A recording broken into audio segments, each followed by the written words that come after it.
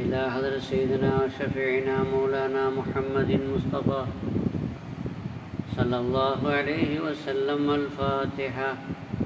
أعوذ بالله من الشيطان الرجيم. بسم الله الرحمن الرحيم.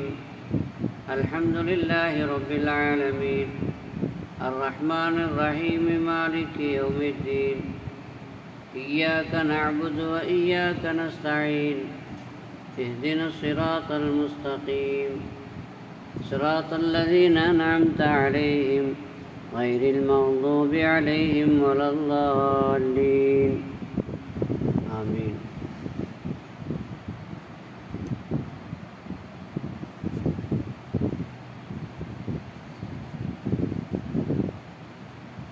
السلام عليكم ورحمة الله وبركاته. الحمد لله رب العالمين عدد خلقه وزنة عرشه ورضا نفسه ومداد كلماته اللهم صل على سيدنا محمد وعلى آل سيدنا محمد وبارك وسلم عليه அளவற்ற அருளாளன் நிகரற்ற அன்புடையோன் எல்லாம் அல்ல அல்லாஹுவின் திருநாமத்தால் துவக்கம். அல்லாஹுவை பயந்து நடந்து கொள்ளும்படி வாழ்வின் எல்லா நிலைகளிலும் தக்குவாவுடைய வாழ்க்கையை மேற்கொள்ளும்படி முதல் முதலாக எனக்கும் உங்களுக்கும் உபதேசம் செய்து கொள்கிறேன். வாரந்தோறும் சனிக்கிழமைகளில் நடைபெற்று வருகிற இந்த அக்கீதத்துல் அவாம் கொள்கை பாட வகுப்பு அல்லாவுடைய பெரும் கிருபையால் இன்று பதினொன்றாவது தொடராக இப்பொழுது இங்கே நடைபெறுகிறது. இன்றைய பாடத்தினுடைய தலைப்பு மலக்குமார்கள். மலக்குமார்கள் யார்?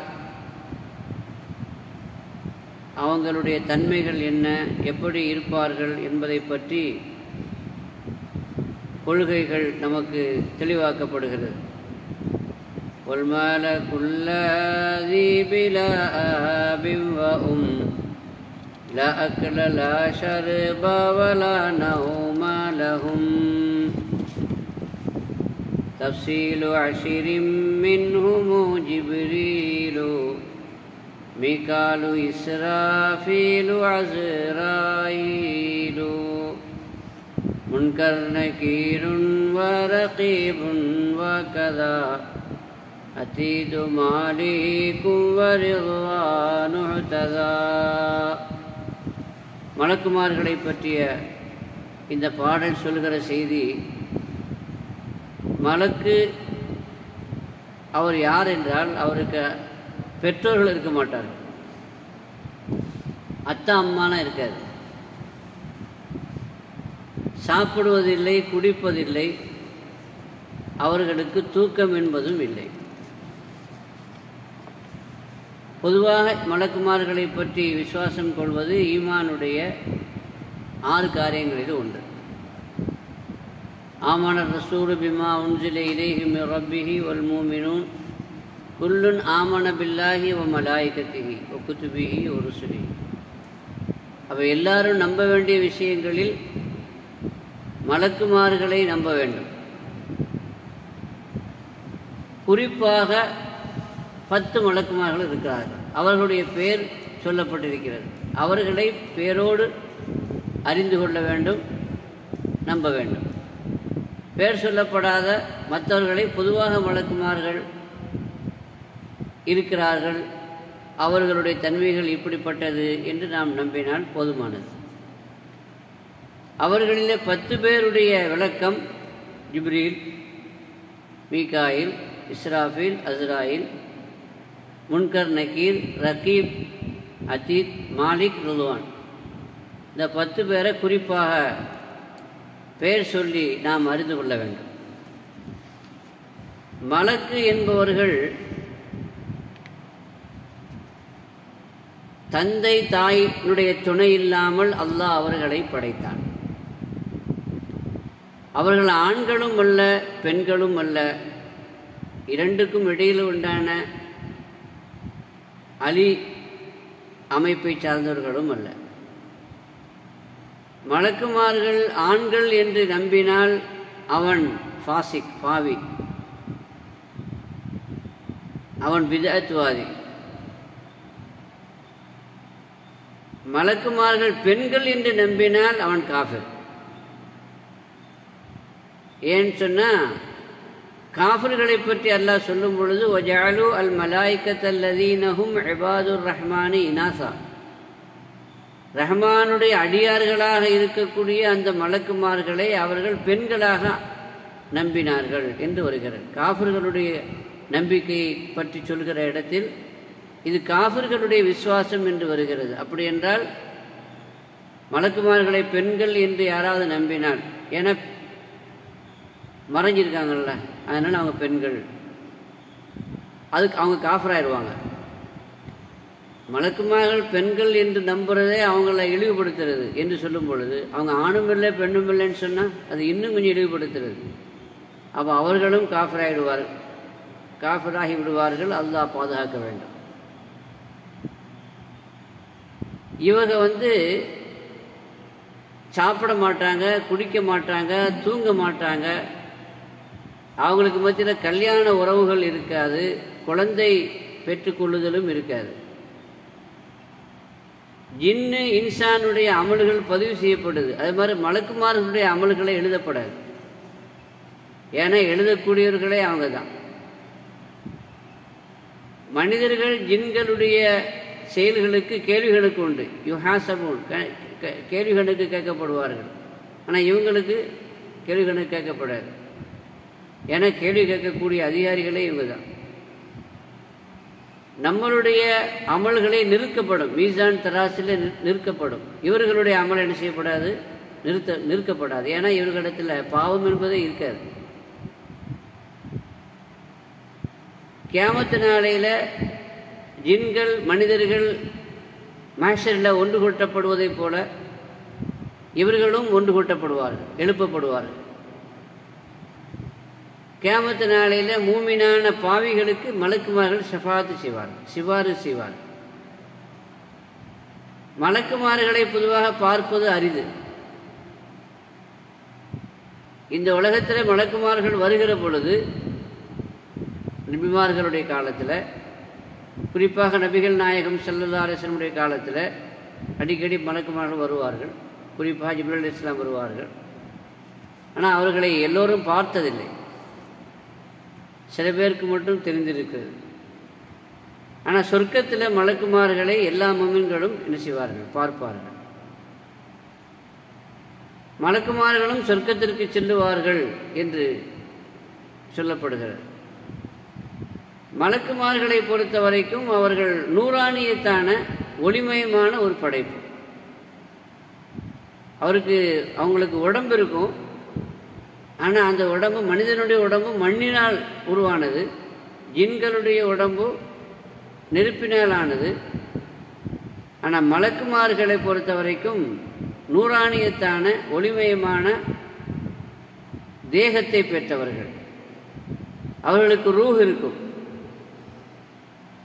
அவர்கள் எந்த ரூபத்தில் வெளிப்பட வேண்டும் என்று நினைத்தாலும் அந்த ரூபம் எடுக்கக்கூடிய சக்தி உண்டு. ஆனால் அழகிய வடிவம் எடுப்பார்கள். நாயகன்சீர் போன்ற இழிபிராணிகளுடைய வடிவத்தில் அவங்க வரமாட்டாங்க. ஜின்களுக்கும் அவர்களுக்கும் இது ஒரு வித்தியாசம். இவங்களுடைய வேலையே அல்லாவுக்கு வழிபடுவது தான் பாவம் என்பது இவர்களை பொறுத்தவரை நினைத்து கூட பார்க்க முடியாது. பெரும்பாலும் வழக்குமார்களுடைய இருப்பிடம் என்பது வானம்.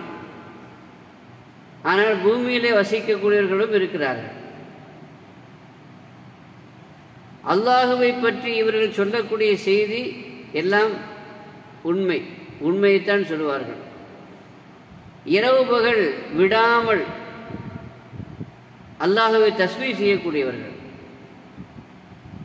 அல்லாஹர்களுக்கு இட்ட கட்டளைகளிலே அல்லாஹுக்கு மாறு செய்ய மாட்டார்கள். எது அவர்களுக்கு உத்தரவிடப்படுகிறதோ அதைத்தான் அவர்கள் செய்வார்கள். ஒரு கட்டத்தில் இவர்களும் மூத்தாகி விடுவார்கள். உலகத்தினுடைய முடிவு நாள் வருகிற பொழுது ரெண்டு சூர் ஊதப்படும். முதலாவது சூர் ஊதப்படுகிற பொழுது அதில் எல்லாருமே மூத்தப்படுவாங்க. இருக்கிற அந்த நேரத்தில் இருக்கிற எல்லாருமே மூத்தப்படுவாங்க. மலக்குமார்களும் மூத்தப்படுவாங்க. ஆனால் அரிசை சுமக்கக்கூடிய மலக்குமார்களை தவிர அதே மாதிரி நான்கு தலைவர்களாக கருத இருக்கக்கூடிய மலக்குமார்களை தவிர அவங்க அப்போ மூத்தாக மாட்டாங்க. ஆனால் அவங்களும் மூத்தாகுவாங்க. அதுக்கு பிறகு.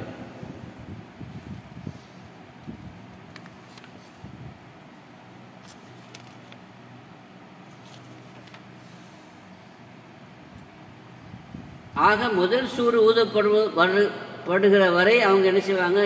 ஹயாத்தாக இருப்பாங்க. அதுக்கு முன்னாடி யாருமே என்ன செய்ய மாட்டாங்க. மூத்தாக மாட்டாங்க. மலக்குமார்களுடைய யதார்த்தத்தை எல்லாம் நம்ம வழங்கணுங்கிறது எல்லா மக்களுக்கும் அவசியம் இல்லை பொதுவாக இப்போ நம்ம சொன்ன அளவுக்கு வழங்கினாலும் போதுமானது. மலக்குமார்களுடைய எண்ணிக்கையை பொறுத்த வரைக்கும் அதிகமான எண்ணிக்கை எண்ண முடியாத அளவிற்கு கணக்கிட முடியாத அளவில் அல்லாவுடைய மலக்குமார் இருக்கிறார்கள் என்று நாம் நம்ப வேண்டும். அவங்களுடைய உண்மை உண்மையான எண்ணிக்கை எவ்வளோங்கிறது அல்லாவை தவிர வேறு யாருக்கும் தெரியாது. ஆனால் குறிப்பாக சில பெயர்கள் வந்திருக்கிறது. அவர்களை மட்டும் பெயர் சொல்லி குறிப்பாக நாம் அவர்களை நம்ப வேண்டும். மற்றபடி பொதுவாக நம்பினால் போதுமானது. அதில் பத்து பேருடைய விளக்கம் விரிவாக சொல்லப்பட்டிருக்கிறது. தப்சீலு அஷிரிம் மின்ஹுமு ஜிப்ரீலு மிகாலு இஸ்ராஃபீலு அஸ்ரா அஸ்ராஈலு. இந்த பத்து பேருடைய விவரங்கள் பேர்களோடு சொல்லப்பட்டிருக்கிறது. இந்த பத்து பேர் நான்கு வகையாக இருக்கிறாங்க. இந்த பத்து பேருமே நான்கு வகையை சேர்ந்தவர்கள். நான்கு டிபார்ட்மெண்ட். அதில் முதலாவது வகை அல் முத்தசர்ரிஃபூன் இயங்கக்கூடியவர்கள் அதாவது செயல்படக்கூடியவர்கள் செயல்படுத்தக்கூடியவர்கள். ரெண்டாவது வகை ஃபாத்தினூன். நம்மளை வந்து சோதிக்கக்கூடியவர்கள். மூணாவது ஒரு ஹாஃபிலூன் பாதுகாக்கக்கூடியவர்கள். நாலாவது ஹாசினூன் காவலர்கள். செக்யூரிட்டி. இதில் முத்தசர்ரிஃபூன் நிர்வாகிகள். நிர்வாக ரீதியான பெரு பெரிய ஆபீசர்கள் என்று எடுத்துக்கொண்டால் நான்கு பேர் இருக்கிறாங்க. உலகத்தினுடைய ஒட்டுமொத்த நிர்வாகம் அதில் இவர்களுடைய கையிலே இருக்கிறது அந்த நாலு பேர் தான் இப்ரேல் அலைஹிஸ்ஸலாம் மீகாயில் அலைஹிஸ்ஸலாம் இஸ்ராஃபில் அலைஹிஸ்ஸலாம் இஸ்ராயில் அலைஹிஸ்ஸலாம். இப்படி நான்கு பேர் இருக்கிறாங்க. இதில் ஒவ்வொரு ஆளுக்கும் ஒவ்வொரு டியூட்டி இருக்குது. ஜிப்ரீல் அலிஸ்லா பொறுத்த வரைக்கும் அவங்களுடைய பொறுப்பு அவர்களுடைய வேலை வகை கொண்டு வருவது. அல்லாஹ் இவர்களை தனது செய்தியை நபிமார்களிடத்திலே சேர்த்து வைப்பதற்காக வேண்டி தூதர்கள் தூதர்களாக தேர்ந்தெடுத்திருக்கிறான். இப்ரல் இஸ்லாம் தான் எல்லா நபிமார்களுக்கும் வகை கொண்டு வந்தவர்கள். ஜிப்ரில் பொறுத்த வரைக்கும் உள்ள சில செய்தி என்னன்னா ஹதரத் இமாம் ஜலாலுத்தீன் சுயூத்தி ரஹமத்துல்லா அலைஹி சொல்லுவாங்க யார் ஒதுவோடு மொ- ஒதுவோடு இருக்கும் பொழுது மூத்தாகிறாங்களோ ஒதுவோடு இருக்கும் பொழுது யார் மௌத்தாகின்றார்களோ மரணிக்கின்றார்களோ அவர்களுடைய மரணத்திலே இப்ரில் வருவார்கள். அங்கே ஹாஜராகுவார்கள்.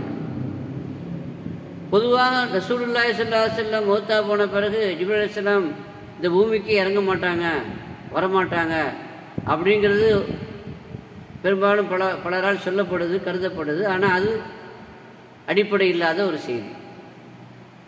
அதாவது ஜிபுல் அலிஸ்லாம் ரசூலுல்லாய் ஸல்லல்லாஹு செல்லம் மௌத்துக்கு பிறகு வகியை கொண்டு இறங்க மாட்டாங்க. வகிங்கிறது ரசூலுல்லாய் ஸல்லல்லாஹு செல்லம் அவர்களோடு அந்த நுபுவத்து நபித்துவம் நிறைவு பெற்று விட்டது. எனவே இனிமேல் வகையை கொண்டு வந்து யாருக்கும் கொடுக்க வேண்டிய வேலை இல்லை தேவையில்லை அதனால் வகையை கொண்டு இறங்க மாட்டாங்கங்கிறது தானே தவிர இவள் இஸ்லாமே வரமாட்டாங்க பூமிக்கு வரவே மாட்டாங்க என்பது சரியில்லை. நாம் வந்து ஏற்கனவே நம்ம கு- தப்சீர் நாம் பார்த்துருக்கிறோம் அறிந்திருக்கிறோம். ஜிப்ரீல் அலி இஸ்லாமுடைய தலைமையில் மலக்குமார்கள் லைலத்துல் இரவில் இறங்குவார்கள். அது ஜிப்ரீல் அலை இஸ்லாமுடைய தலைமையில் இறங்குவாங்க. ஏன்னா எத்தனை தனசல் அலை மலாய்க்கத்து ஒரு ரூஹுங்கன்னு சொல்கிறோம் அந்த ரூஹு கொண்டு உத்தேசம் ஜிப்ரீல் அலி இஸ்லாம் இது ஒவ்வொரு வருஷமும் நடக்கக்கூடிய ஒரு விஷயம். ரசுல்லாக்கு பிறகு கேமத்து வரைக்கும் லைலத்துல் கதிர் இரு இருந்தால் அப்போ அவங்க இறங்குவாங்க. ரெண்டாவது மீக்காயில் அலைஹிஸ்ஸலாம் மீக்காயில் அலைஹிஸ்ஸலாமுடைய பொறுப்பில் வந்து மழை இருக்கிறது கடல் நதி ரிசுக்குகள் வாழ்வாதாரங்கள் கற்பப்பையில் கருவுக்கு உருவம் கொடுப்பது வடிவம் கொடுப்பது இதுவெல்லாம் இவர்களுடைய டியூட்டி இஸ்ராஃபில் அலை இஸ்லாமுடைய பொறுப்பு முக்கியமாக ரெண்டு. ஒன்று லவ்ஹுல் மஹபூது இவர்களுடைய பொறுப்பில் இருக்கிறது. ரெண்டாவது சூறு ஊதுறது. கேமத்து நாள் வருவதற்கு முன்பாக சூறு ஊதக்கூடிய மிக முக்கியமான ஒரு பொறுப்பு இருக்குது. அவங்க கையில் கொம்பு இருக்கும் சங்கு ஊதுறது. அந்த அந்த சங்கு அந்த கொம்பு வடிவத்தில் இருக்கக்கூடிய அந்த சங்கு இருக்குது அது வந்து ஒளி ஒளியினால் உண்டானது. சங்கு சாதாரணமாக ஊதுவோம் சூறு ஊதுவோம் அது அவங்களுடைய சூறுங்கிறது ஒளியினால் உள்ளது. ஒளியை பார்க்கக்கூடியவர்கள் அரிது இல்லையா? அதில் என்ன விசேஷம் அப்படின்னா அந்த சங்கில் அங்கே ஊதக்கூடிய சூரில் எக்காலத்தில் துளைகள் இருக்கும். அந்த துளைகள் எத்தனை துளைகள் இருக்கும்? உலகத்தில் எத்தனை ஆன்மாக்கள் இருக்கிறதோ அத்தனை ஆன்மாக்களுடைய எண்ணிக்கையில் எத்தனை ரூ இருக்கிறதோ உலகத்தில் அந்த அளவுக்கு உண்டான துளைகள் இருக்கு ஏன்னா அந்த சூரை வச்சு அங்கே ஊதும் பொழுது அந்த ஆண் அந்த துளைகளின் வழியாக அந்தந்த ரூவுகளுக்கு போய் அது சேர்த்து வைக்கணும். சேர்த்து வைக்கும். அது அவங்கள எழுப்பும். எழுப்ப வேண்டும் அல்லவா? அதற்காக. ரெண்டு சூறு ஊதுவாங்க. உலகம் அழியும் பொழுது ரெண்டு சூறு ஊதுவாங்க. யார்? மீக்கா இஸ்ராஃபீர் அலை இஸ்லாம் முதல் சூரில் எல்லாமே ஃபனாவாயிடுவாங்க. முதல் சூறு ஊதப்படுகிற பொழுது அப்போ யாரெல்லாம் ஹயாத்தாக இருக்கிறாங்களோ படைப்புகளில் அதில் எல்லாமே அழிந்து விடும் ஆனால் அல்லாஹ் நாடக்கூடிய சில படைப்புகளை தவிர. அல்லாஹ் நாடக்கூடிய சில படைப்பு அப்பொழுது என்ன செய்யாது? அழியாது. குறிப்பாக ஏழு விதிவிலக்குகள் விதிவிலக்கான ஏழு படைப்புகளை சொல்லப்படுகிறது. அந்த நேரத்தில் அழியாதது ஏழு இருக்குது. ஒன்றாவது அரிசி ரெண்டாவது குருசு மூணாவது லவ்ஹல் லவ்ஹுல் மஹபூது அப்புறம் களம் விதி எழுதிய அந்த பேனா சொர்க்கம் நரகம் ஆன்மாக்கள் அருவாகுகள். இந்த ஏழை தவிர மற்ற எல்லாமே முதல் சூரில் அழிந்துவிடும் பணாலாயிடும். ரெண்டாவது சூர் ஊதப்படும். ரெண்டாவது சூர் ஊதப்படுகிற பொழுது அப்பொழுது இருக்கிற எல்லா சிருஷ்டிகளும் எழுப்பப்படுவார்கள். எல்லா சிருஷ்டிகளும் அப்பொழுது எழுப்பப்படும். எழுப்பப்படும் சொன்னால் அந்தந்த ரூஹு அந்தந்த உடம்போடு சேர்ந்து கொள்ளும். அந்த ரூஹு எந்த உடம்பிலே இருந்ததோ இந்த உலகத்தில் அந்த உடலிலே அது மீண்டு விடும். எந்த ரூகும் அதனுடைய உடம்பை தப்பாது.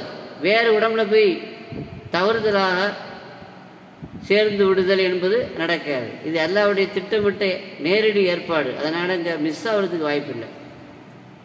இந்த ரெண்டு சூருக்கு இடையில நாற்பது வருடம் இடைவெளி இருக்கும் என்று சொல்கிறாங்க முதல் சூறு ஊதி ரெண்டாவது சூறு ஊதுறதுக்கு முன்னா இடையில உடனடியாக சம்பவம் நடக்காது. ரெண்டுக்கும் இடையில நாற்பது வருஷம் இடைவெளி இருக்கும் என்று சொல்லப்படுகிறது. குரான் ஷெரீஃபில் சம்பந்தமான நிறைய ஆயத்துகள் இருக்கிறது. ஒன்று ஃபிக் ஹஃபிஸ் சூரி. ஃபசஇக மம் ஃபிஸ் சமாவாதி மம் ஃபில் அர்து இல்லா மன்ஷா அல்லாஹ் சும்ம நுஃபிக ஃபீஹி உஹ்ரா ஃபைதாஹும் கியாமும் எந்துரூன் சூர் ஊதப்படும் அப்பொழுது வானத்திலே பூமியிலே உள்ள எல்லோருமே மயக்கம் மயக்கமுற்று விடுவர். விழுந்து விடுவர். அல்லா நாடியவர்களை தவிர. அதான் ஏழு ஏழு பேர் ஏழு வகைரா சொன்னோம்ல. சும்ம நுஃபிக ஃபீஹி உக்ரா பின்னர் இன்னொரு சூர் ஊதப்படும். அப்பொழுது ஃபைதாகும் கியாமும் எங்குரும் அப்பொழுது எல்லோரும் எழுந்து ஒருவருக்கொருவர் பார்த்து கொள்வார்கள். குரான் ஷரீஃபில் அல்லாஹ் சொல்கிறான் சூரத்து ஜுமர் ஆயத்து நம்பர் அறுபத்தி எட்டு. அதுக்கடுத்து மூணாவது மல நாலாவது மலக்கு தெரிய வேண்டிய மலக்கு யாருன்னா அசுராயில் அசுராயிலுடைய வேலை என்னன்னா படைப்புகளுடைய ரூகுகளை கைப்பற்றுவது. நமக்கெல்லாம் தெரியும். ஒவ்வொரு ரூஹனுடைய ரூகையும் அவங்க தான் கைப்பற்றுவாங்க. அந்த ரூஹு எங்கே குடிகொண்டிருக்கிறதோ அந்த குடிகொண்டு இருக்கக்கூடிய உடம்பில் இருந்து அந்த ரூகை வெளியேற்றக்கூடியவர்கள் யாருன்னா அசுராயர் அலையாம் எந்த அளவுக்கு நாம் சின்னஞ்சிறிய ஒன்றாக பார்க்கிற கொசு அதே மாதிரி ஈ பேனு இல்லையா? மூட்டைப்பூச்சி இது மாதிரியான ஹயவான்கள் உயிரினங்கள் அதனுடைய ரூகையும் இவங்க தான் என்ன செய்வாங்க? கைப்பற்றுவாங்க. இதுதான் சின்ன ஜமாத்தினுடைய நிலைப்பாடு. ஆனால் முகத்தசிலாக்கள் என்ற அதாவது அந்த காலத்தினுடைய தகுதி ஜமாத் வழிகட்ட அந்த கூட்டம் இவங்க வந்து வித்தியாசமான கொள்கையை கொண்டிருக்கிறாங்க. இவங்களுடைய கொள்கை என்ன அப்படின்னா மனிதர்களுடைய ரூகத்தை இவங்க கைப்பற்றுவாங்க. அசலார் அலையாம் ஜின்களுடைய உயிரத்தை அவங்க என்ன செய்வாங்க? கைப்பற்றுவாங்க. மற்றபடி மலக்குமார்களுடைய ரூகையோ பறவைகள் மற்ற உயிரினங்களுடைய ரூகை இவங்க கைப்பற்ற மாட்டாங்க. அப்படிங்கிறது அந்த அந்த காலத்தினுடைய தவி ஜமாத் வழிகட்ட தவி ஜமாத்தினுடைய மோத்தசராக்களுடைய கூட்டம் கொள்கை. இன்னொரு கூட்டம் இருக்குது சுன்ன ஜமாத்துக்கு மாற்றமான ஒரு கூட்டம் பிதாத்து கூட்டம். அவர்களுடைய கருத்து என்னன்னா மிருகங்களுடைய ரூக அசர் அலிஸ்லாம் கைப்பற்ற மாட்டாங்க. அவர்களுடைய உதவியாளர்கள் தான் என்ன செய்வாங்க? கைப்பற்றுவாங்க அப்படின்னு. ஆக மலக்குமாறுகள் அசரார் அலி இஸ்லாமுடைய தலைமையில் அவங்களுடைய உதவி உதவியாளர்கள் இருப்பாங்க. நேரடி கண்காணிப்பில் தான் எல்லாமே நடக்கும் என்பது நாம் விளங்கி கொள்ள வேண்டிய விஷயம். ஆக பிரம்மாண்டமான ஒரு மலக்கு இந்த மலக்கினுடைய பொறுப்பு ரூகை கைப்பற்றுவது என்று நாம் விளங்கிக் கொள்கிறோம். இவங்களுக்கு உதவியாளர்கள் இருப்பாங்க அப்படின்னு சொன்னால் எத்தனை உதவியாளர்கள் இருப்பாங்க? எத்தனை பேர் இந்த உலகத்தில் மூத்தாகுவாங்களோ அத்தனை பேருடைய எண்ணிக்கையில் அவங்களுக்கு உதவியாளர்கள் இருப்பாங்க. அப்போ ஒவ்வொரு ரூகையும் கைப்பற்றுற பொழுது அந்தந்த மலக்கு அந்தந்த கூட ஒரு மலக்கு கூட்டு போவாங்க. மூமின்களை பொறுத்த வரைக்கும் ரொம்ப மிருதுவாக கைப்பற்றுவாங்க. கரடு முரடாக இருக்காது முரட்டுத்தனமாக இருக்காது. ரெண்டாவது மூமின்கிற இடத்தில் அவர்கள் வருகிற பொழுது அழகான வடிவத்தில் வருவாங்க. பார்த்து மிரண்டு போகக்கூடிய அளவுக்கு வர மாட்டாங்க ஆனால் மற்றவங்க அப்படி இல்லை. இந்த இது இந்த இது வந்து முத்தசாரி போன் இவங்கெல்லாம் செயல்பாட்டு அதிகாரிகள் நிர்வாக அதிகாரிகள் நாலு பேர். முத்தசாரி போன். ரெண்டாவதாக ஃபாத்தினோன். ஃபாத்தினுன்னு சொன்னால் ஃபித்னா செய்யக்கூடியவர்கள் அதாவது சோதிக்கக்கூடியவர்கள். அதாவது கஸ்டம்ஸில் ஆஃபீஸர்கள் சோதிக்கிறாங்கள என்கொயரி பண்ணுறாங்களா இல்லையா? அது மாதிரி. முன்கர் நக்கீர் என்று ரெண்டு மடக்கு இந்த ஃபாத்தினுங்கிற வகையில் எத்தனை பேர் இருக்காங்க? ரெண்டு பேர் இருக்கிறாங்க. முன்கர் நக்கீர். இந்த ரெண்டுமே கருப்பாக இருப்பாங்க நிறத்தில். அதாவது பார்த்தா மிரண்டு போகக்கூடிய தோற்றத்தில் வடிவத்தில் என்ன செய்வாங்க? இருப்பாங்க. அவங்களுடைய கண்கள் நீல நிறமாக இருக்கும். பார்த்தாலே என்ன ஆகிடும் அவ்வளோதான் என்று சொல்லக்கூடிய அளவுக்கு இருக்கும். இவங்க எப்போ வருவாங்க? இவங்க கையில் இரும்பு ஆயுதம் இருக்கும். தண்டாயுதம் இருக்கும். அந்த ஆயுதத்தோடு தான் வருவாங்க. அந்த மிரளக்கூடிய மிரள வைக்கக்கூடிய அந்த காட்சிகளில் அந்த ஆயுதம் பிரதான இடம் உண்டு அதற்கு.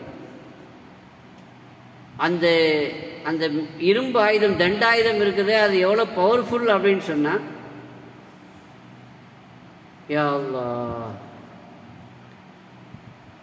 பூரா உலகத்தில் இருக்கக்கூடிய மனிதர்கள் ஜின்கள் எல்லாரும் சேர்ந்தா கூட அது தூக்க முடியாது. அந்த ஆயுதம் அவ்வளோ கனமாக இருக்கும். அந்த ஆயுதத்தை தூக்கி கொண்டு வருவார்கள்.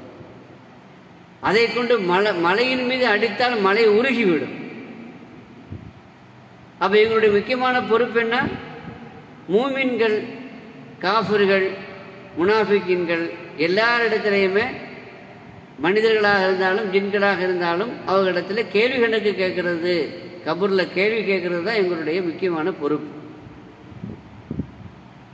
இது எப்போ நடக்கும் அப்படின்னா அடக்கம் செய்து மக்களெல்லாம் போன பிறகு. ஒரு மையத்தை கபூரில் வச்சு அடக்கம் செய்துட்டு மக்கள்லாம் போன பிறகு இவங்க வந்துடுவாங்க வந்து என்ன செய்வாங்க? கேள்வி கேட்பாங்க. அப்போ அது மையத்தில் எப்படி கேட்பாங்கன்னு சொன்னால் அதுதான் அந்த நேரத்தில் மக்களெல்லாம் போன பிறகு அடக்கம் செய்து மக்களெல்லாம் போன பிறகு அந்த ரூகுகளை அவங்களுடைய உடம்பில எல்லாம் திரும்ப கொடுப்போம் இதுதான் பெரும்பாலான உடமாக்களுடைய கருத்து. அதாவது அல்லாஹ் வந்து அந்த மையத்தினுடைய உடம்பில முழுமையாக ரூ கொடுத்துருவான். மு- முழுமையாக கொடுத்துருவான்னா உச்சி முதல் உள்ளங்கால் வரைக்கும் பழையபடி அவங்களுக்கு ரூ வந்துடும் இபுன் ஹஜர் சொல்கிறாங்க மேல் பகுதி மட்டும்தான் அவங்களுக்கு ரூ ரூ கொடுக்கப்படும். கீழ்ப்பகுதியில் என்ன செய்யாது? மேல் பகுதின்னு சொன்னால் அவங்களுக்கு கேட்கணும் பதில் சொல்லணும் அது அதுதானே தேவைப்படும். கீழ்ப்பகுதி எழுந்து நடக்க வேண்டிய அல்லது ஓட வேண்டிய தேவையெல்லாம் இல்லைடா. அதனால் எழுந்திருக்கவும் முடியாது ஓடவும் முடியாது. அவங்களுக்கு மேல் பகுதி அதில் மட்டும்தான் ரூ கொடுக்கப்படும். என்று ஒரு கருத்து இருக்குது ஆக பெரும்பாலான உடம்பாளுடைய கருத்து என்னென்னா முழுமையாக ரூ என்ன செய்ய முடியும்? அப்படிலாம் தப்பி ஓட முடியாது. சில பேர் சொல்கிறாங்க ரூஹே இல்லாத உடம்புல கேள்வி கேட்பாங்க.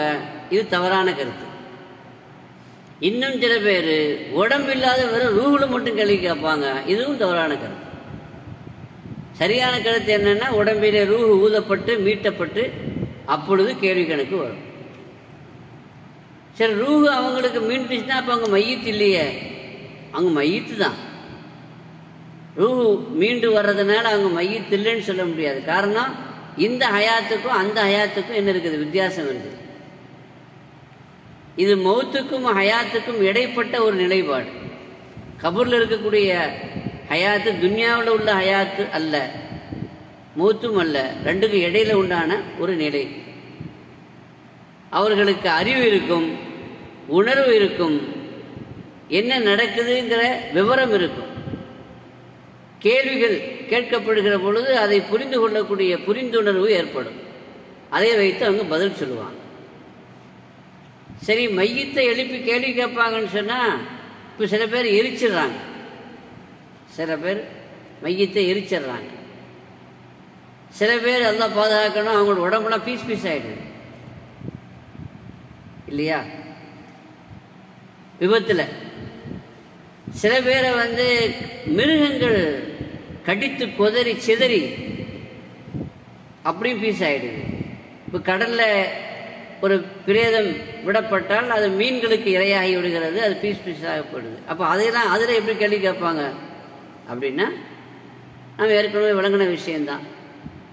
அப்போ என்ன செய்வாங்க? அந்த உதிரி பாகங்களுக்குள்ள ஒன்று சேர்ப்பாங்க. அல்லாவுடைய உத்தரவுக்கு அது பெரிய விஷயம் இல்லை. உதிரி பாகங்கள் எல்லாம் ஒன்று சேர்க்கப்பட்டு முழு வடிவம் கிடைத்த பிறகு அவங்கள உட்கார வச்சு சுவால் செய்வாங்க. சுவால் வந்து எப்படி இருக்கும்? பயங்கரமாக இருக்கும். ஏன்னா இதே சோதனை தானே. அதனால் ரொம்ப அன்பாலாம் என்ன செய்ய மாட்டாங்க. பொதுவாக ஆஃபீஸர் பார்த்துருக்கோம்ல கேள்விகளுக்கு கேட்குற ஆஃபீஸர் ஆ? இஞ்சி தின்ன குரங்கு முஞ்சி மாதிரி இருப்பாங்க. அவங்க சாதாரணமாக இருந்தால் கூட அந்த கேள்வி கேட்கும் பொழுது அந்த கெட்டப்பு வந்துடும் கெத்து வந்துடும் ஏய் ஆ ஊங்கிற அது மாதிரி தான் மலக்குமார்கள் வந்து என்ன செய்வாங்க? தொக்கா புக்கான்னு என்ன செய்வாங்க? வருவாங்க ரொம்ப வேகமாக இருக்கும் அவங்க கேள்வி கணக்கு. ஆனால் இப்படி தான் எல்லாத்துலேயும் வருவாங்க பொதுவாக ஆனால் மூமின்கள் இடத்துல கொஞ்சம் கொஞ்சம் மென்மையாக நடந்து கொள்வாங்க காஃபிர்கள் முனாஃபிகர்களை தான் ரொம்ப மிரட்டுவாங்க அதட்டுவாங்க என்று சொல்கிறாங்க சரி முன்கர் நைக்கிற வந்து கேள்வி கேட்பாங்கல்ல எந்த பாஷையில கேள்வி கேட்பாங்க? அவங்கவுங்க பாஷையில கேள்வி கேட்பாங்கன்னு சொல்றாங்க. அப்பதானே பதில் சொல்ல முடியும்? அல்லது அரபி பாஷை வந்து சொர்க்கத்து பாஷை. அதாவது தேவலோக பாஷை அரபி பாஷை. என்று வைத்துக்கிட்டோம்னு சொன்னால் அப்போ அந்த நேரத்தில் அரபியில் கேள்வி கேட்டாலும் அந்த உலகத்துக்கு நம்ம போன பிறகு அது நம்முடைய தாய் பாஷை மாதிரி ஆயிடும். ஆனால் சரியான கருத்து என்ன அப்படின்னு சொன்னால் அவங்கவுங்க பாஷையில் கேட்பாங்க என்ன கேட்பாங்க மண் ரப்புக்க ஒமா தீனுக்க ஒமன் நபியுக்க ஒமா கிபுலத்துக்க ஒமன் இஹ்வத்துக்க ஒமா இமாமுக்க ஒமா மின்ஹாஜுக்க ஒமா அமலுக்க. இதுதான் பிரதானமான கேள்வி. முதல் கேள்வி மண் ரப்புக்க உனது ரப்பு யாரு? ரெண்டாவது கேள்வி ஒமா தீனுக்க உன்னுடைய மார்க்கம் என்னது?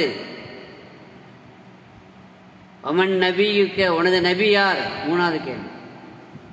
உமா கிபிலத்துக்க உன்னுடைய கிபிலா எது? அஞ்சாவது கேள்வி உமா இஹ்வத்துக்க உன்னுடைய சகோ உமன் இஹ்வத்துக்க உமன் உன்னுடைய சகோதரர்கள் யார்? உமா இமாமுக்க உன்னுடைய இமாம் யார்? எது? உனது இமாம். உமா மின்ஹாஜுக்க உனது வழி எது? மா அமலுக்க உன்னுடைய அமல் என்ன?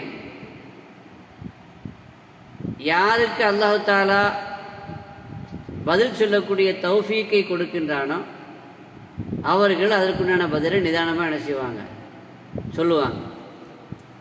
பதறாமல் சொல்லிடுவாங்க. பதட்டப்படாமல் சொல்லிடுவாங்க. இன்னும் சில பேர் மலக்குமார்களே கொஸ்டின் எதிர் கொஸ்டின் பண்ணக்கூடிய ஆட்கள் இருப்பாங்க. மலக்குமார்கள் இப்போ நம்ம வந்து ஒரு ஆஃபீஸர் வந்து நம்மகிட்ட வந்து என்கொயரி பண்ணும் பொழுது முதல்ல உன்னுடைய ஐடி உன்னோட ஐடி கார்டு கொடுத்து கே கேட்குறோம்ல நீ யார்ப்பா? உனக்கு என்ன அத்தாரிட்டி இருக்குது நீ இந்த ஆஃபீஸர் அப்படிங்கிறதுக்கு என்ன ஆதாரம் இருக்குன்னு கேட்குறோம்ல அது எல்லாரும் கேட்க மாட்டாங்க. கொஞ்சம் துணிச்சலான விவரமான ஆளாயத்தை கேட்பாங்க. அப்போ அவன் என்னோட தன்னுடைய ஐடி காமிப்பான். நான் வந்து எந்த பிரிவுலேருந்து வருகிறேன்? அதுக்குண்டான அரசாங்கத்தினுடைய அந்த ஐடி கார்டை காமிச்ச கேட்பாங்கல்ல? அதே மாதிரி அங்கேயும் நடக்கும். அது ஆன்ம பலம் உள்ள சில அல்லாவுடைய நெருக்கமான சில அடியார்கள் இருப்பாங்கல்ல? யார் பாணி உன்னை அனுப்புனது யார்? அது என்ன ப்ரூஃப் இருக்குது? அப்படின்னு கேட்பாங்க. இது நல்ல இது எல்லாரும் கேட்க முடியாதுல்ல? பெரிய விவரமான பவர் உள்ள படிமார்கள் கேட்பாங்க. அப்போ மற்றவங்க சொல்லுவாங்க சதக்கா இவர் ரொம்ப உஷாராக இருக்காரு அப்படின்னு சொல்லுவாங்க. மூமின்கள் வந்து அவற்றை கொஸ்டின் பண்ண மாட்டாங்க சாதாரணமாக பதில் சொல்லுவாங்க. மண் ரப்புக்கன்னு கேட்டால் ரப்பி அல்லாஹ் எனது ரப்பு அல்லாஹ் வஹதஹூலா ஷரீக்கரான்னு சொல்லுவாங்க. உமா தீனுக்கன்னு கேட்டால் ஒரு இஸ்லாமு தீனி. என்னுடைய இஸ்லாம் தான் இஸ்லாம் தான் என்னுடைய மார்க்கம். நபி யாருன்னு கேட்டால் முகம்மது நபி முகமது சல்லாஹன் நபி. நபிமார்களுடைய இறுதியான நபி. கிபிலா எதுன்னு கேட்டால் காபா தான் என்னுடைய கிபிலா. மூமீன்கள் தான் என்னுடைய சகோதரர்கள். உன்னுடைய இமாம் யாருன்னு கேட்டால் நம்ம பேசுமா பேர சொல்லிடக்கூடாது அந்த புலாசர் யார் இமாமு திரவச்சர் அவங்க பேர சொல்லிடக்கூடாது இமாம் யார் அப்படின்னு சொன்னால் குரான் தான் இமாம். ஒல் குரானு இமாமி. உனது வழி என்ன? சுன்னத் எனது வழிமுறை. இவ் உன்னுடைய அமல்கள் என்ன? என்ன கேட்பாங்கல்ல? நான் அல்லாவுடைய கித்தாபை ஓதி அதை நம்பி அதை உண்மைப்படுத்தியிருக்கிறேன் என்றெல்லாம் சொல்லுவாங்க. இப்படி இந்த கேள்வி பதில் பதில் முடிஞ்ச பிறகு நல்லவங்களுக்கு நல்ல பதில் கிடைக்கும். சொல்லக்கூடிய வாய்ப்பு கிடைக்கும். இந்த கேள்வி பதில் இருக்கிற ஒரு விஷயம் விளங்கணும். இதை மனப்பாடம் பண்ணிட்டு போக முடியாது. பொதுவாக பரீட்சைங்கிறது கொஸ்டின் வந்து அந்த பேப்பர் எப்போ கொடுப்பாங்க அப்படின்னா கொஸ்டின் பேப்பரு பரீட்சை ஹால் எக்ஸாமினேஷன் ஹாலுக்கு வந்த பிறகு தான் கொடுப்பாங்க. அதுக்கு முன்னாடி கொஸ்டின் அவுட் ஆனால் அந்த பரீட்சை செல்லாதில்ல. அப்போ பரீட்சை நிறுத்தி வச்சுருவாங்க. ஆனால் இந்த கொஸ்டின் இருக்கு பாருங்க இந்த பரீட்சையினுடைய கொஸ்டின் பேப்பர் அவுட் ஆயிடுச்சு ஏற்கனவே. என்னென்ன கொஸ்டின் இருக்கும் அப்படிங்கிறது அவுட் ஆயிடுச்சுல. அப்போ இது அவுட் ஆயிடுச்சுன்னு சொல்லி மனப்பாடம் பண்ணி வச்சுருந்தா கூட அங்கே போய் அங்கே போய் பதில் சொல்ல முடியுமா? நம்ம என்ன சேட்டை பண்ணிக்கிறோம்? ஆனால் கொஸ்டினுக்கு மட்டும் சில பேர் பரீட்சையில் பாஸ் ஆனால் போதும் நினைக்கிறேன்டா. திறமையை வளர்த்துக்கிறது இல்லை. அதே மாதிரி கொஸ்டினுக்கு ஆன்சர் பண்ணிட்டா போதும்னு நினச்சி அந்த பதிலை மட்டும் மனப்பாடம் பண்ணிட்டு செயல்பாடுகள் நீ ஏற்குமாறாக இருந்தால் பதில் வராது. அங்கே பதில் வாயில் வராது. வரணும். கல்பில் இருந்தால் தான் என்ன வரும்? வெறும் வாயில் மனப்பாடம் பண்ணி சில சமயத்தில் நம்ம வாயாட மனப்பாடம் பண்ணி பரீட்சையில் வந்து கேட்கும் பொழுது அங்கேயே உலகத்தையே நம்ம ப மாட்டிக்கிறோமா இல்லையா? பதில் பதில். நல்லா படிச்சுட்டு தான் போயிருப்போம். அந்த நேரத்தில் கேள்வி கேட்கும் பொழுது அந்த நேரத்தில் பதில் வராது. அங்கேருந்து வந்த பிறகு அடட திருப்பிட்டா யாபத்துக்கு வரும். அதே மாதிரி தான் அங்கேயும். எல்லாவோடைய தௌஃபீக் கிடைக்கணும். சட்டியில் இருந்தால் தான் அகப்பையில் வரும்பாங்க. சட்டியில் இருக்கணும். கல்பில் இருக்கணும். சும்மா கிளிப்பிட மாதிரி நம்ம மனப்பாடம் பண்ண சரி வராது. மோலான ரூபிநாமத்தினாலே ஒரு கதை சொல்லுவாங்க. ஒருத்தர் ஒரு கிளி வளர்த்தான். அந்த கிளிக்கு வந்து களிம சொல்லி கொடுத்தான். கிளியை பொறுத்த வரைக்கும் நம்ம என்ன சொல்கிறோமோ அதை சொல்லும். நம்ம என்ன சொல்லும்படி பழக்கிறோமோ அது திருப்பி திருப்பி சொல்லும் இல்லையா? அப்போ அவன் கிளி களிமா சொல்லி பழக்கணும் அது லா இலாஹா இல்லல்லா லா இலாஹா இல்லல்லா. இப்போ நாம் பார்க்குறோமே கிளிகளாக அழகாக களிமா சொல்லும். களி களிமான்னு நீ எதை சொல்லி கொடுத்தே சொல்லும்.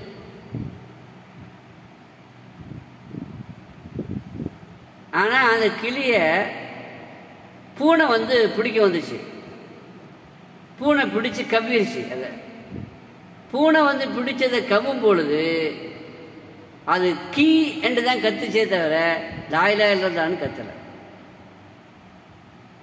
இது வரைக்கும் லாயிலா இல்லதா லாயிலா இல்லதான்னு சொல்லி கொண்டிருந்த கிளி பூனை வந்து கழுத்தை கவி பிடிச்சு பிடிக்கும் பொழுது கீ என்று தான் அது கத்தியது என்று சொல்லுவார் அப்படின்னா என்ன அர்த்தம்? நீ வெறுமனே லாயிலா இல்லதா சொன்ன பத்தாதரா நம்பணும். கல்புல அதை அழுத்தணும் பதிவு செய்யணும். அப்படிதான் அது என்ன செய்யும்? வாயில வரும். செயல்பாடுகள் அதை மெய்ப்பிக்கின்ற வகையில் அமையணும். புகார் ஷரீஃபினுடைய ரிவாயத்தில் வருது. ரசூலுல்லாஹி ஸல்லல்லாஹு அலே செல்லம் அவங்க விஷயத்தில் மா குந்த தகூலு ஃபி ஹாதன் நபி. இந்த நபி இந்த இவங்க விஷயத்தில் இந்த ஆள் யாருன்னு உனக்கு தெரியுமான்னு சொல்லி ஒரு ஆளை சுட்டி காண்பித்து கேட்பாங்க. அங்கே நம்ம ரசூலுல்லா ஸல்லல்லாஹு அலைஹி வஸல்லம் நாம் நேரில் பார்ப்போம். நேரில் பார்த்து நம்ம அவங்க வந்து சொல்லுவோம் அஷ்ஹது அன்னஹு அப்துல்லா வர ரசூலுஹு என்று சொல்லுவோம். நல்லவர்களாக இருந்தால் பதில் கிடைக்கும் சரியான பதில் வரும். பதில் சரியாக சொன்ன பிறகு அவங்க சொல்லுவாங்க நம் நவமத்தல் அரூஸ். சரிப்பா நிம்மதியாக நீ தூங்கு அப்படின்ட்டு போயிடுவாங்க புது மாப்பிள்ளை தூங்குற மாதிரி தூங்கு அப்படின்னு சொல்லுவாங்க. தூக்கத்திலே புது மாப்பிள்ளை தூக்க தூங்குற தூக்கம் இருக்குதே அது புது மாப்பிள்ளைக்கு தானே தெரியும். அது ஒரு சொகுசான சுகமான ஒரு தூக்கம். சாந்தி முகூர்த்தம் முடிஞ்ச பிறகு ஏற்படுகிற தூக்கம். புது மாப்பிள்ளை தூக்குனா அது வந்து அவரை வந்து யாரும் எழுப்ப மாட்டாங்க. ரொம்ப அவருக்கு ரொம்ப பிரியமானவங்க போய் தான் என்ன செய்வாங்க? எழுப்புவாங்க. அது மாதிரி நிம்மதியாக தூங்குப்பா ஒரு கவலையும் எனக்கு இல்லை. அழகா தூங்கு அப்படின்ட்டு போயிடுவாங்க இல்லையா? ஆனால் முனாஃபிக்கின்களாக இருந்தால் காஃபராக இருந்தால் அந்த பதில் கிடைக்க சொல்லக்கூடிய வாய்ப்பு கிடைக்காது. பயம் வந்துடும் திடுக்க வந்துடும் நடுக்க வந்துடும் இவங்க யார்ப்பா உனக்கு தெரியுமான்னு கேட்டால் அது ஹாய் ஹாய் ஹாய் ஹாய். எனக்கு தெரியாது. இப்போ எல்லாம் ஒரே ஹாய் ஹாய்ன்னு சொல்கிறான்ல ஹாய் யாரையா பார்த்தா ஹாய்? இது நல்ல பதில் கிடையாது. ஹாய் இது நல்ல பதில் கிடையாது. தெரியாதவன் கபூரில் முன்கர் நக்கீது உடைய கேள்விக்கு பதில் சொல்ல முடியாதவன் சொல்லக்கூடியது ஹாய் ஹாய். ஹாய். ஹா ஹா ஹா ஹா லா அது எனக்கு தெரியாது தெரியாதுன்னு சொல்லுவோம். நல்லா பாதுகாக்கணும். ஆக இந்த ரெண்டு மலக்குக்கு என்னங்க பேர்? முன்கர் நக்கீர். ஒரு ஆளுக்கு பேர் முன்கர் இன்னொரு ஆளுக்கு பேர் நக்கீர். சில பேர் சொல்றாங்க மூமி மூமின்களுக்கு வர கேள்விகளை கேட்கக்கூடிய மலக்குக்கு பேர் முபஷிர் அப்படிங்கிறாங்க. பஷீர். மூமின்களுக்கு கேள்விகளை கேட்பாரு அவருடைய பேர் முபஷிர் பஷீர். மற்றவங்களுக்கு கேட்கக்கூடிய முரட்டத்தனமாக கேட்கக்கூடிய கேள்வி அந்த மலக்குக்கு பேர் தான் முன்கர் நக்கீர் அப்படின்னு சொல்கிறாங்க ஆனால் பொதுவான கருத்து என்னென்னா எல்லா எல்லாருக்கும் கேட்கக்கூடிய மலக்கு பேர் முன்கர் நகீர் தான். மூமின்கள்ட்ட அவர் கேட்குற விதம் வித்தியாசமாக இருக்கும் அவ்வளோதான் எல்லார்ட்டையும் கேட்குற மாதிரி மூமின்கள்ட்ட அவர் கேட்க மாட்டார் அப்படிங்கிறது தான் நம்ம அங்கே விளங்க வேண்டிய வித்தியாசப்படுத்தி விளங்க வேண்டிய விஷயம். ஆக இன்னும் மலக்குமார்களை பற்றி சில சில விஷயங்கள் நாம் விளங்கி கொள்ள வேண்டிய விஷயம் இருக்கிறது. இன்ஷா இனி வரக்கூடிய அடுத்த வாரத்தில் நாம் அதை பார்க்கலாம். அல்லாஹ் நமக்கு தௌஃபிக் செய்வானாக. பிஹக்கு செய்தினா முகம்மது وآل سيدنا محمد صلى الله عليه وسلم وآخر دعوانا أن الحمد لله رب العالمين. صلى الله على محمد. صلى الله عليه وسلم. صلى الله على محمد. صلى الله عليه وسلم. صلى الله على محمد يا ربي صل وسلم صل على جميع الأنبياء والمرسلين والحمد لله رب العالمين